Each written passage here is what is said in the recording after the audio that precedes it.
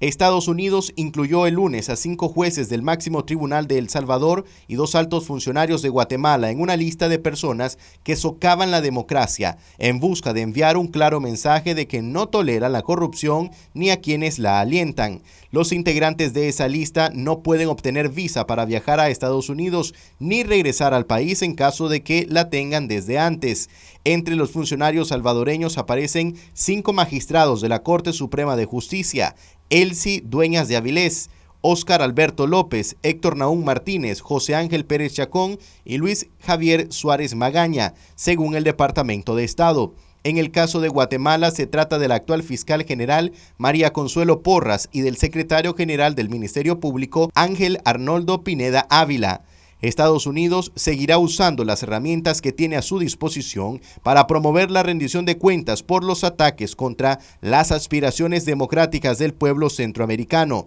expresó el secretario de Estado Anthony Blinken en una declaración escrita. Agregó que continuarán asociándose con funcionarios gubernamentales que demuestren su dedicación a combatir la corrupción y fortalecer la gobernabilidad democrática entre los ataques a la democracia y a medidas anticorrupción de los cinco jueces de la Cámara Constitucional de la Corte Suprema de El Salvador, Estados Unidos señaló que aceptaron ser nombrados en sus puestos de manera directa por la Asamblea Legislativa, en un proceso que pareciera haber transgredido la constitución de su país. Marcos Medina, Noticias 12.